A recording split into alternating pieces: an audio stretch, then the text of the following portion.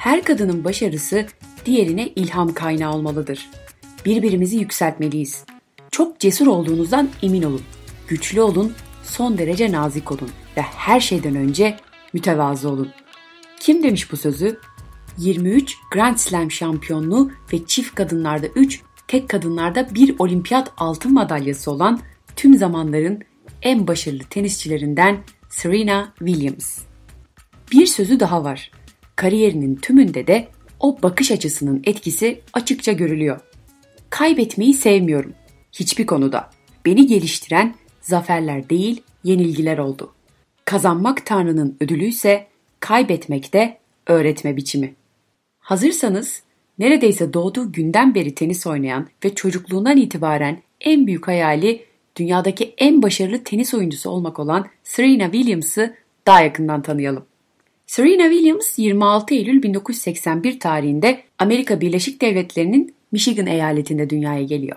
3 yaşındayken tenis oynamaya başlayan Williams'ın ilk tenis hocası da babası oluyor.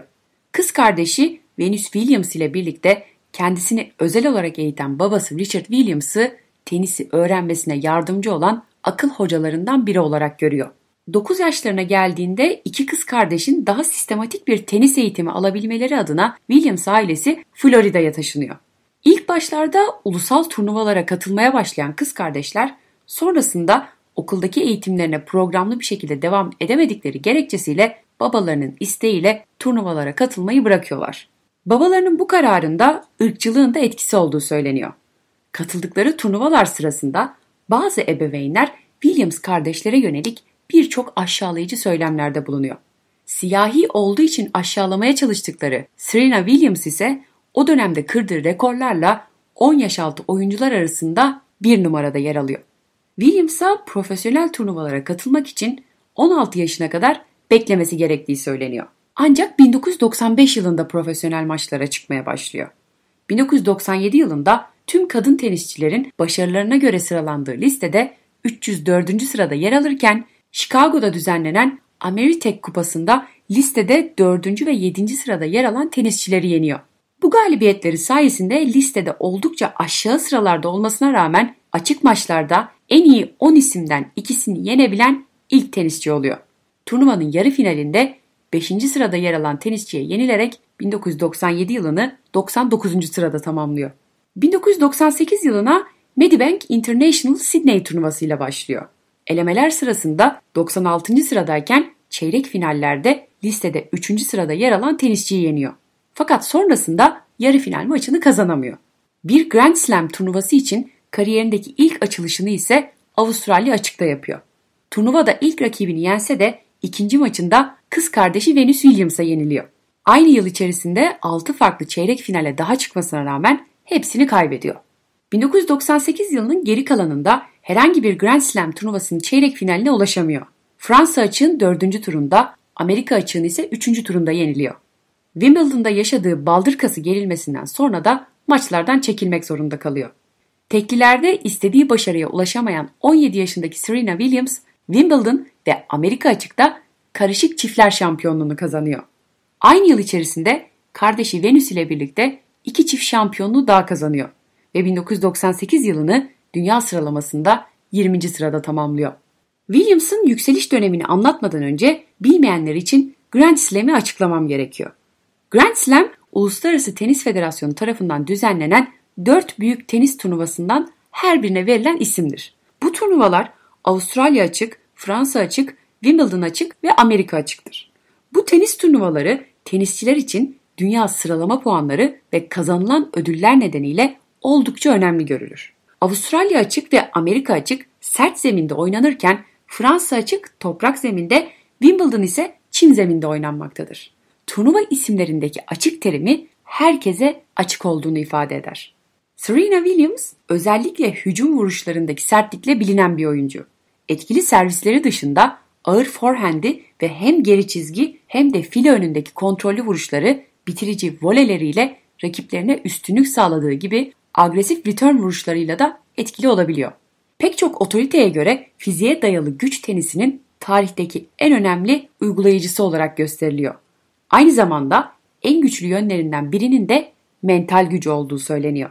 Kariyeri boyunca geriye düştüğü pek çok önemli maçı çevirebilen Williams, tenis tarihinde 3 ayrı Grand Slam turnuvasını şampiyonluk yolunda maç puanı kurtararak kazanan tek oyuncu olarak da tarihe geçiyor.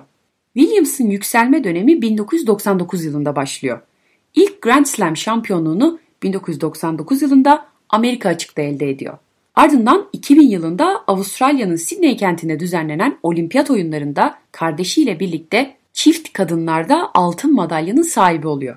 2002 yılında Fransa açık, Amerika açık ve Wimbledon'da kardeşi Venus Williams'ı finallerde mağlup ederek 3 şampiyonluk kazanıyor. 2003 yılında Avustralya açıkta da şampiyon olmasıyla birlikte Grand Slam'in dördünü birden kazanarak büyük bir başarıya imza atıyor. Aynı yıl Wimbledon'da da şampiyon olan Serena Williams 2005 yılında Avustralya açıkta da zaferi elde ediyor. 2006 yılında geçirdiği sakatlığın ardından 2007 yılında sahalara geri dönüyor ve 3. defa Avustralya açığı kazanıyor. 2008 yılında Çin'in başkenti Pekin'de düzenlenen olimpiyat oyunlarında kardeşi Venus Williams ile birlikte çiftlerde tekrar altın madalyanın sahibi oluyor. Aynı yıl Amerika açıkta üçüncü kez şampiyon oluyor. 2009 yılındaki Avustralya açığı şampiyonluğu ile birlikte Grand Slam şampiyonluğu sayısını 10'a çıkarıyor. Yine aynı yıl Wimbledon'da kardeşi Venus Williams'ı yenerek şampiyon oluyor. 2010 yılında da Avustralya açık ve Wimbledon'daki şampiyonluklarını sürdürüyor. Dinlerken bile yoruldunuz ama Williams asla yorulmamış. İnanın say say bitmiyor. 2012 yılında 5. kez Wimbledon'ı kazanıyor. Aynı yıl İngiltere'nin başkenti Londra'da düzenlenen olimpiyat oyunlarında tek kadınlarda altın madalyanın sahibi oluyor. Yine 2012 yılında Amerika açıkta şampiyon oluyor ve böylece kazandığı Grand Slam sayısını 15'e yükseltiyor. 2013 yılında ikinci kez Fransa açık ve beşinci kez Amerika açığın galibi oluyor. 2014 yılında da Amerika açığı kazanan Williams böylece kariyerindeki 18. Grand Slam şampiyonluğunu elde etmiş oluyor. Ayrıca tarihte tek kadınlarda en çok Grand Slam kazanan ikinci isim ünvanıyla birlikte adı Martina Navratilova gibi efsane tenisçilerle beraber anılmaya başlanıyor. Bir sonraki yıl Avustralya açığı ve Fransa açığı kazanarak Grand Slam şampiyonluğu sayısını 20'ye çıkarıyor. 21 ve 22. Grand Slam'ini de Wimbledon'da kazanıyor. Böylece 22 defa Grand Slam şampiyonu olan efsane tenisçi Steffi Graf'ı tahtından etme fırsatını yakalıyor. 2017 yılında Avustralya açığın finalinde kardeşi Venus Williams'ı mağlup ederek 23. kez Grand Slam şampiyonu oluyor ve Graf'ın rekorunu da egale ediyor. Son Grand Slam'inin çok ayrı bir hikayesi de var aslında. 2016'nın Aralık ayında nişanlanan Serena Williams şampiyonluktan sonra sosyal medya hesabından 20 haftalık hamile olduğunu duyuran bir paylaşım yapıyor. Turnuvanın paylaşımdan 12 hafta önce gerçekleştiği bilgisiyle birleştirilince Williams'ın Avustralya açıkta şampiyonluğu karnında bebeğiyle kazandığı ortaya çıkıyor. Tüm zamanların kadınlar teklide en çok Grand Slam kazanan tenisçileri sıralamasında Margaret Court 24 şampiyonlukla ilk sırada yer alırken Serena Williams 23 şampiyonlukla ikinci sırada yer alıyor. Williams'ın en büyük hedeflerinden biri de bu listede ilk sıraya yerleşmek. Özellikle anne olduktan sonra ilk Grand Slam zaferini kazanabilmek onun için büyük bir önem taşıyor. Hatta 37 yaş 291 günle açık dönemde finale kalan en yaşlı kadın tenisçi olma ünvanını da elde ediyor. Doğumdan sonra Mart 2018'de kortlara geri dönüyor. O yıl herhangi bir turnuva kazanmasa da hem Wimbledon hem de Amerika açıkta finale kalıyor. 2018'deki Amerika açık finali olaylı bir maç oluyor ve maça Williams'ın sandalye hakemi Carlos Ramos ile girdiği tartışma damgasını vuruyor. Antrenöründen taktik aldığı iddiasıyla hakem Ramos'tan uyarı alan Williams'a birkaç dakika sonra sayı kaybettiğinde raketini yere vurduğu için ikinci kural ihlalinden dolayı 15 sayı cezası veriliyor. Bunun ardından sandalye hakeminin bulunduğu bölüme yürüyen Williams ilk kural ihlaliyle ilgili olarak Ramos'a ben antrenörümden taktik almadım. Hayatımda hiç hile yapmadım. Bana bir özür borçlusun. Hile yaparak kazanacağıma kaybetmeyi tercih ederim diyor. Ardından oyun arasında kenarda otururken tekrar Ramos'a bana özür borçlusun. Özür dilediğini söyle. Benden bir sayı çaldın. Bu yüzden hırsızsın da ifadelerini kullanıyor. Bunun üzerine Ramos Williams'a 3. kural ihlalini veriyor. 3. kural ihlali oyun cezasına neden olduğu için ikinci sette durum rakibi Naomi Osaka'nın lehine 4-3'ten 5-3'e geliyor. Williams'ı destekleyen seyirciler Ramos'u müsabaka sonuna kadar yuhalıyorlar.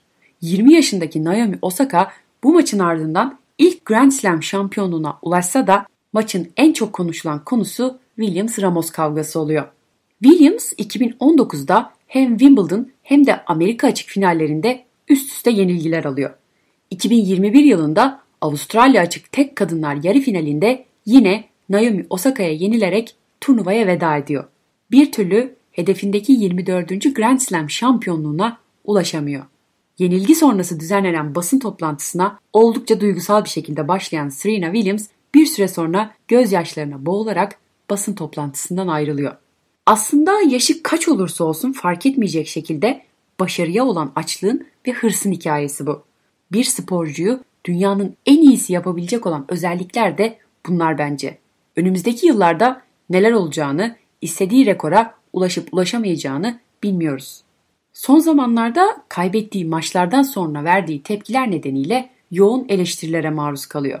Kariyerinin bitişinde bu şekilde mi hatırlanmak istiyor tarzında birçok yorum yapılıyor.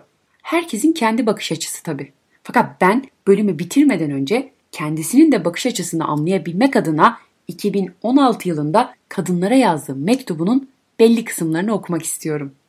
Mükemmellik için çabalayan tüm inanılmaz kadınlara. Büyürken bir hayalim vardı. Sizlerin de olduğuna eminim. Benim hayalim sıradan bir çocuğunki gibi değildi. Hayalim dünyadaki en iyi tenisçi olmaktı. Dünyanın en iyi kadın tenisçisi değil. Hayalimi destekleyen ve onun peşinden gitmeye teşvik eden bir aileye sahip olduğum için şanslıydım. Korkmamayı öğrendim. Bir hayal için mücadele etmenin ve büyük hayaller kurmanın ne kadar önemli olduğunu öğrendim. Mücadelem 3 yaşımdayken başladı ve o zamandan beri hiç ara vermedim. Ancak hepimizin bildiği gibi çoğu zaman kadınlar yeterince desteklenmiyor ya da kendi yollarını seçmeleri konusunda cesaretleri kırılıyor. Umarım hep birlikte bunu değiştirebiliriz. Benim için bu bir direnç meselesiydi. Başkalarının ben de kusur veya dezavantaj olarak gördüğü şeyleri, ırkımı ve cinsiyetimi başarım için bir yakıt olarak kullandım. Hiçbir şeyin ve kimsenin beni veya potansiyelimi tanımlamasına izin vermem. Geleceğimi kendim belirledim. Kadınların başarıya giden yolda birçok engeli aşması gerekiyor. Bu engellerden biri de sanki bir kusurmuş gibi sürekli erkek olmadığımızı hatırlatmamızdır. İnsanlar bana dünyanın en iyi kadın sporcularından biri diyorlar. LeBron James dünyanın en iyi erkek sporcularından biri diyorlar mı? Bunu asla karşılıksız bırakmamalıyız. Her zaman başarılarımıza göre yargılanmalıyız. Cinsiyetimize göre değil. Hayatta ulaştığım her şey için, başarıyla gelen iniş ve çıkışları deneyimlediğim için son derece minnettarım. Umarım benim ve sizlerin hikayeleri tüm genç kadınlara büyük işler başarmak ve hayallerini dirençle takip etmeleri için ilham verecektir. Büyük hayaller kurmaya devam etmeliyiz. Ve bunu yaparken gelecek nesil kadınları da arayışlarında cesur olmaları için güçlendirmeliyiz. Serena Williams Beni dinlediğiniz için çok teşekkür ederim. Bir sonraki bölümde görüşmek üzere.